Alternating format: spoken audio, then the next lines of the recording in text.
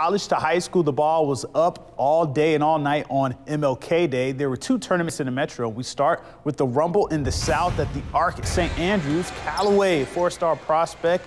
Deshaun Ruffin taking on Peel tonight, him the Chargers. Dandy Dozen, Caleb McGill kick out to Jamar Jenkins for the first points of the game for the Panthers there. How about the defense now from Ruffin? He snatched the ball there, and he will get an easy lay-in and Ruffin again, this time snatching the rebound, and he gets in transition. Watch this play.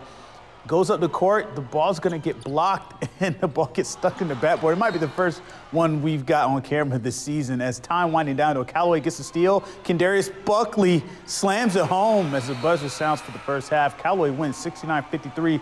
Ruffin with a game-high 20 points and MVP honors.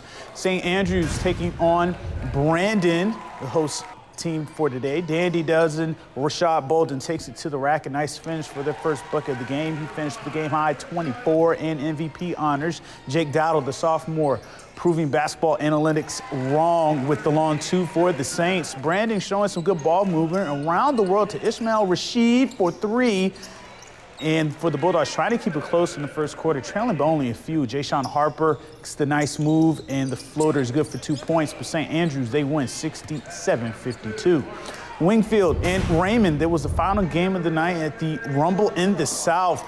Jabari Robinson starts off with the nice move and finished with the left hand for the Rangers. And look out below, probably the dunk of the night here. Demarian Arrington just rises up and slams it on the defender. The Falcon flying high there. Lots of back and forth in this one.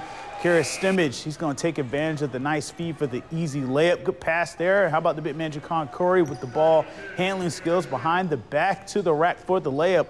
Wingfield, they win a close one over Raymond, 68 to 65. And over at Lanier for the MLK tournament, Terry and Madison Central faced off, and the Jaguars, they would start off on offense here as Caleb Kent hits the first bucket of the game, and that is a three ball, so the Jags up early on. Check out this play. Amarion Walker gets the steal, goes behind the back, and gets the nice bucket in transitions. He puts Terry on the board. And how about the outlet for the Jags? It gets stolen, but it gets stolen right back. Isaiah Spencer with the nice plays, nice play there as he gets in and scores. Then later, Amarion Walker with the nasty pass to Devin Reeves. He finishes the play. He's going to go between his legs here with the pass. No final score reported by airtime for that game.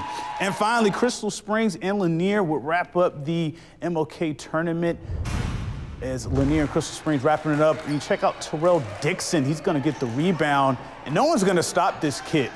this is what we call coast to coast and the Bulldogs were up five after that bucket. They're up one at halftime. The Dogs go inside to the big dog, Mike Brown. Lanier go up by 10 in the third quarter, and they get another fast break opportunity from Dixon to finish it. The Bulldogs, they get the win 63-55 over Crystal Springs to close out the MLK tournament. And that's all for sports. We'll be right back after this.